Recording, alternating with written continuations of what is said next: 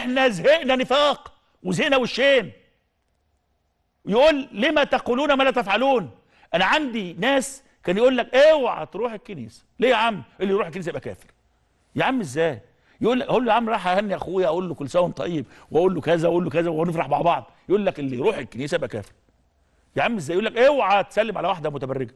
يا عم إزاي ده إحنا وأنا بسلم عليها يعني؟ لما بسلم عليها بإيدي حصل يعني عملية آه، آه، نشوة يعني؟ يقول لك لا اوعى. ده انت تروح في جهنم لو عملت كذا كذا.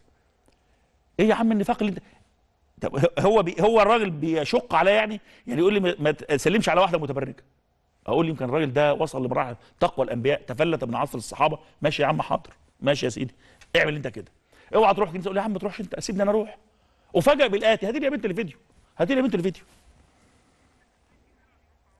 أختي سناء تسأل عن حكم زيارة الكنيسة للسياحة الكنائس أيها الإخوة والأخوات هي أماكن آه، يشرك فيها بالله وذلك أن الله تعالى يقول لقد كفر الذين قالوا إن الله ثالث ثلاثة لقد كفر الذين قالوا المسيح ابن الله فهي أماكن شرك عموما ولا يجوز للإنسان أن يدخلها Good morning. Doctor, welcome. Hi, nice to meet you. And you? How are you? Very well, thank you. Very well.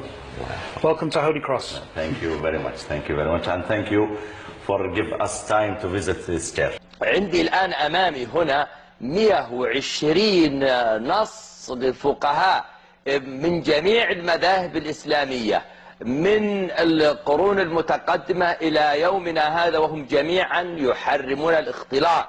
بل القواعد الشريعة الإسلامية العامة تمنع اجتماع الج- الجنسين في مكان واحد.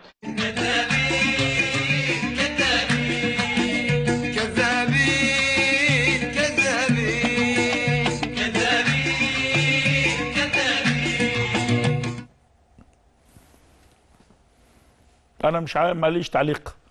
يعني هو يقول لك إيه اوعى تعمل كذا وهو بيتفرج عليه. أنا والله في واحد ممكن يقول لي إيه؟ إن الذين يحبون أن تشيع الفاحشة في الذين آمنوا. والله ابدا. والله والله الذي لا إله إلا هو ابدا. أنا بحزن من قلبي مش بفرح من حاجات زي كده. ألاقي الشيخ الحويني قال كلام وقال عكسه.